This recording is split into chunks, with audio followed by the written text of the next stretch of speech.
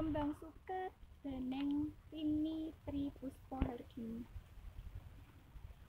Kembang suket tuwuh ing papan rumput. Kaendahan ora melek pangalembono. Ora katon ing pandumi. Nanging setya mapak srengenge. Wangine ngenteni tawon lan kembang. Pincuk sarine. Endah tanpa polosan. Mekar tanpa pinginan. Urip ngayahi wajib. Ngabekti marang sing duwe urip.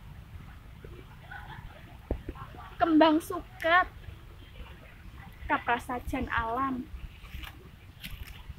Kerep ucul saka panyawang kosok balen karo manungsa. Demen ati sarira tanpa ngudi alusing nuwun.